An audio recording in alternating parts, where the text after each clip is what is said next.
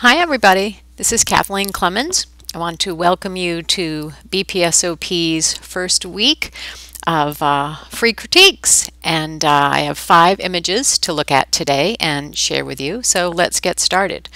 Let me read you the information on this first image. It's called Day's End by Gary Kahn it's taken with an Olympus OMD EM1 40 to 150 millimeter f2.8 lens at 150 millimeters.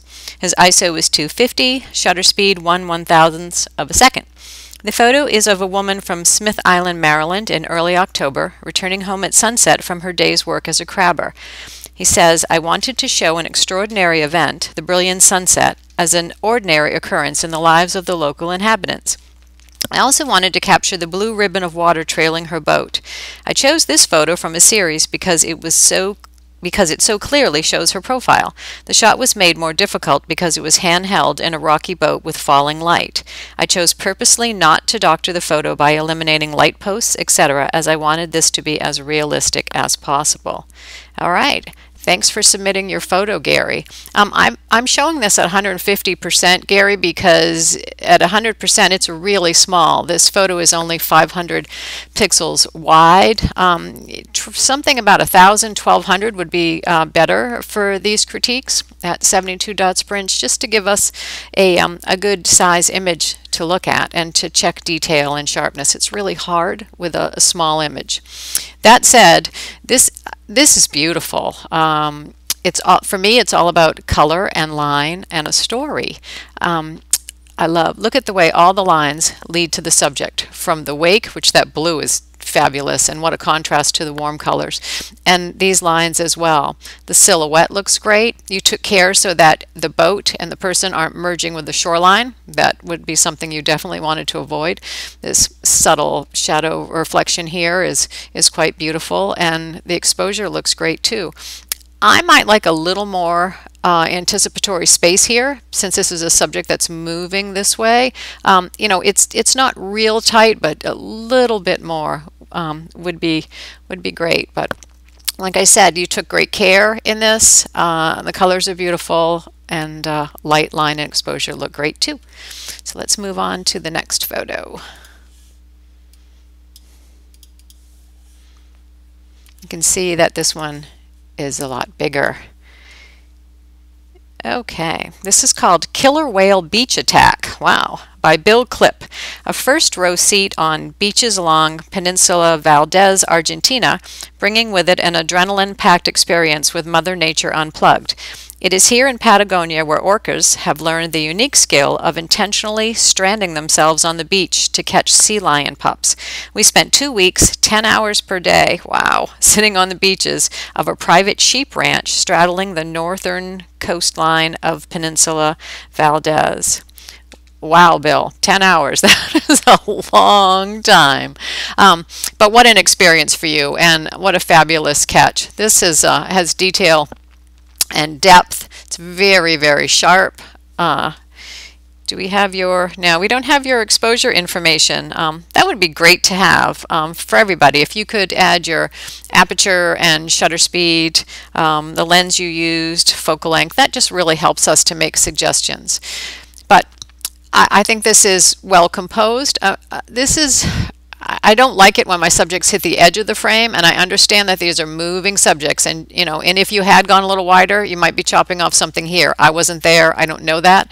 Same thing here just a little tight. So if this is a crop at all um, I'd pull back just a little bit. But you've got a nice diagonal line here and the sea lions are uh, are in that same sort of a format as well and the there's a beautiful diagonal here in the, the line of the sand. So uh, I think this is a great capture. Um, I think that all this movement captures the intensity of the moment, and I, I can't imagine what that was like to sit there and, and see, see that come to shore.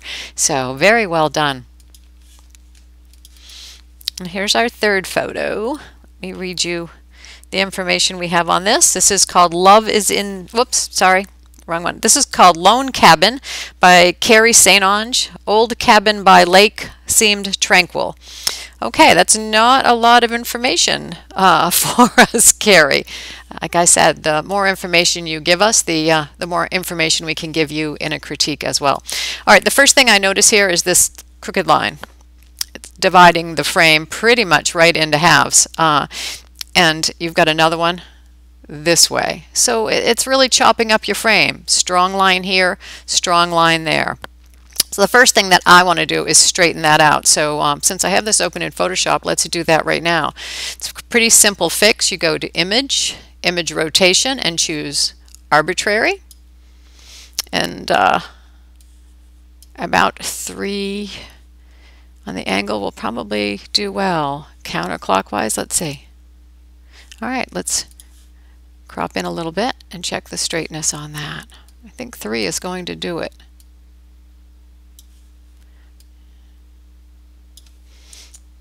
Okay, so that's that's a lot straighter. That looks pretty good, but we've still got this line issue. Um, I, I, love the tones and the the blue. I always love blue and green together here. Um, and and the softness and the reflection is great, but I don't think we need all of this reflection to tell this story.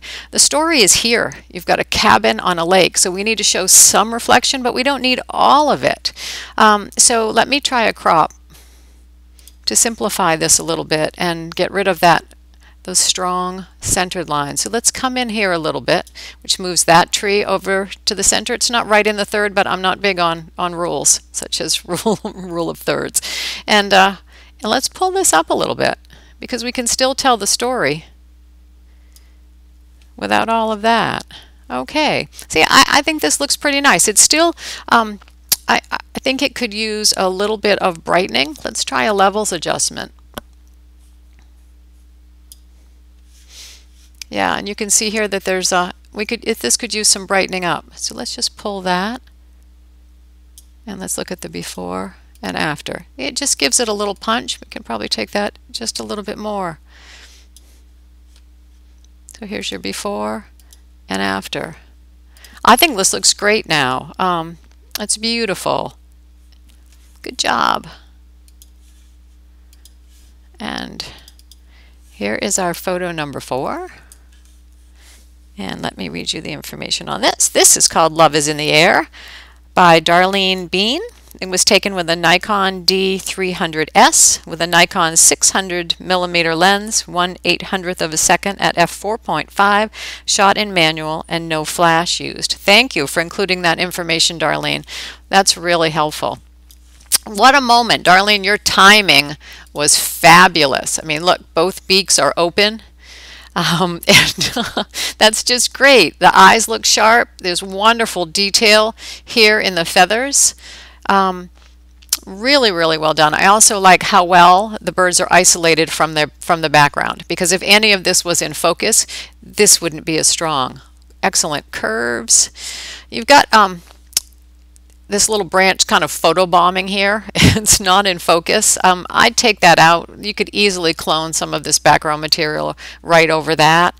Um, and, and I might pull this up just a little bit. I mean, you can't see where the feet end, so I certainly wouldn't want to chop the feet off, but maybe just pull that up just a little bit to get rid of some of the foliage that's out of focus, and maybe just pull this in a little bit like that too. But really nice light, excellent detail, um, and like I said, amazing timing. That must have really been something to see. And last but not least, we have this photo by Nina Kling. Hello, Nina. Uh, Nina says this is called Lines, that she participates in a weekly photo challenge, and this was her submission for the theme Lines. On a freezing day, she decided to go to the Metropolitan Museum and look for a subject. This was shot in the Egyptian section, Great Lines, Light, and Reflections. Hey, Nina, you did your own critique.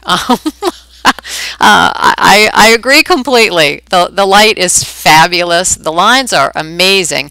And what I love is that all lines lead me to this to this figure. You know, these lines, these lines, these lines all pull me to this figure. You also did a really nice job being sure that the figure doesn't didn't merge with these lines. Um, you know, and there's separation between this line and the figure as well. I love the distortion at the bottom and diagonal lines are always a wonderful thing to have in a photograph. Uh, really strong uh, graphic lines in this Nina. Beautiful job. Very well done. So there are my five critiques from week, week one. I encourage you all to um, to submit photos and um, give us a decent size photo to look at and as much information as you can. You know, not only the technical stuff. Tell us what you saw, what you were going for, um, and uh, and until next week, um, happy shooting, everybody.